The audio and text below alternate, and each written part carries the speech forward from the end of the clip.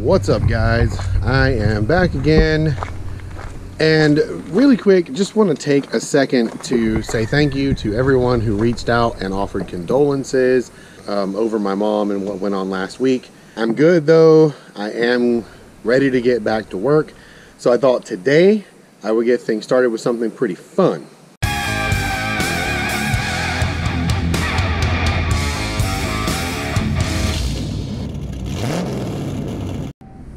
So this is what we're doing today. This is the 2005 Grand Prix base model that I have. I'm sure a lot of you know about. This is the driver's information center. Now, some of you may or may not know that the driver's information centers on this body Grand Prix come in a couple flavors.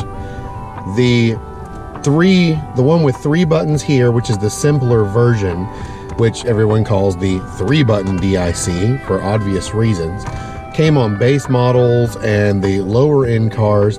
And if you look at its functionality, let me shut the door so it'll shut up. If you look at its functionality, you don't have a lot of different stuff. You've got your basically your mileage here and you've got a couple trip that you can do with this button. You've got, this is the reset button right here in the middle, which as you can see, the paint's already rubbed off on. Then under information, you can basically make some changes to the car, what language you want the information in, whether you want it in metric or standard, etc.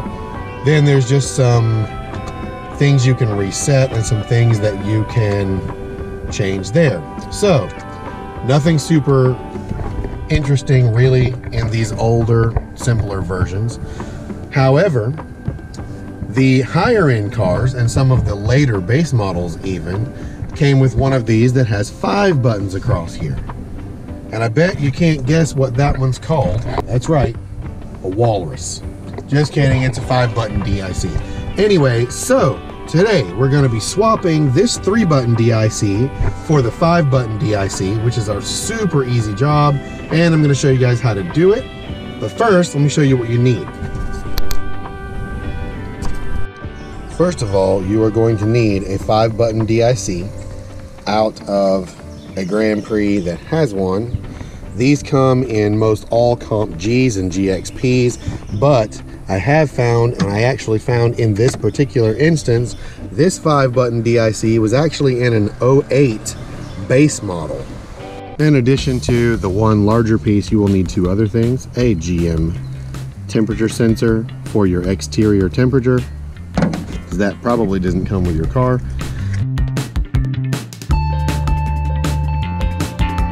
So let me show you where these things are and how to grab them because junkyards are definitely your best bet. So the first piece you're going to find moving front to back behind this headlight. We're just going to unbolt this, pull this lever up, and then this whole headlight assembly will wiggle out and out of the way like so. There's one electrical connector right here, which is the only connection to the headlight, so that's a really easy thing to swap. And with that out of the way, you're going to look down here for an empty connector right here. And below that, right in here, there's a hole where a temperature sensor should go. So to add this, you're just gonna take the new one or the one from the junkyard if you feel right in here, let me see if I can get this close enough. You can feel right in here for this hole in the cowl. This isn't going to be fun. And you may actually even want to plug this in first. That way if you accidentally drop it, it won't go anywhere. Once you've got it plugged in, just find the little hole that it sits in which will face kind of halfway down. And then you should be able to wiggle that in and kind of half turn it. And then there you go. It just sits right in there. And you put the headlight back and you're finished with the temp sensor install. Next, you're gonna need to get into the trunk and look up this way and we're gonna need a light. Okay, then from the inside of your trunk, looking up here, you'll see an empty place here where something should be. That's where your compass sensor goes. And there's a couple of different ways to reach it, but if you don't have the Monsoon audio, the easiest way is through this hole where the amp would be because you can reach straight forward. Should be able to feel around and see what you need there. So then all you're gonna need to do is snap the one from this in here. It just clips in like this does. And then the wiring is up there too. You'll just have to feel for that and reconnect it. I just don't have that part with me right now because I haven't grabbed it yet. But that will take care of the compass end of getting the thing to work. Okay, and for the final install is actually changing the DIC itself. This is surprisingly easy to do. All you're gonna do, take your keys out, a flathead screwdriver to get behind this surround for the key. Pop it forward, be very careful with it because it is plastic. The rest of this just snaps in. The trick is you have to be really careful not to break it because it's very easy to break. What I would suggest doing is start down here and just pull it loose all the way around as you go until you get to the other corner. Once it's loose, rotate it like this to get it around the shifter and angle it up. Then there's just a one connector right here that you unplug and you're done. Then all you need to do to put it back in is the reverse. Now on this, there is gonna be a passenger's a passenger's airbag module connector that we're not going to use because this car doesn't have those. Uh, but other than that, it should plug in just like normal right here. Then you're just going to rotate it back into position and carefully making sure that you've got it lined up correctly. Just do the reverse of what you had to do to get it out. Just press it in a little bit at a time until it's completely flush like so. Take your surround. Make sure it's facing the correct way, obviously. Push that back in. And that's it. As you can see, it already works. Now, let's explore a few of these options.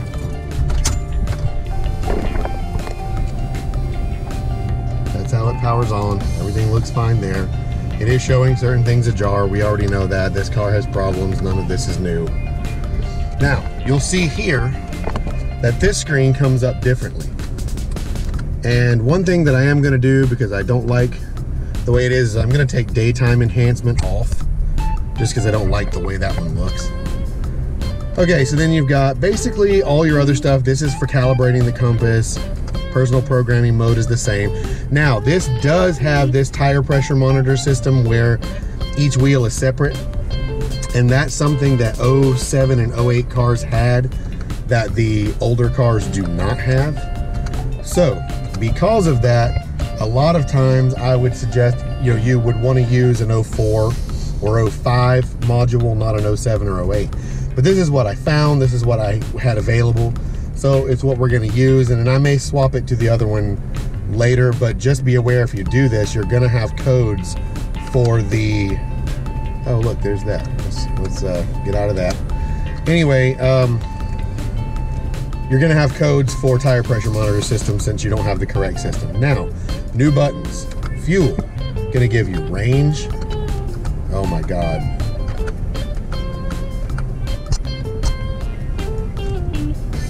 All right, so you're gonna have your you're gonna have your average economy, instant economy, and then your range. None of these were available on the three button. Now you will also, and forgive this traction control thing, that's a car, the problem this car has, but that's gonna be for another video. Anyway, you've got your same stuff here, but you've also got average speed, which you did not have on the other one. You've got time elapsed, which you didn't have on the other one. So several new things there. Then if you go over here to where you see a picture of a gauge, you've got engine hours, you've got your remaining oil life that's visible, you've got transmission fluid temperature, battery voltage. I mean, none of that obviously was was available in the other one either. So it's pretty cool. I mean, you get a lot of a lot of new features in an item that doesn't really take but five minutes to change out.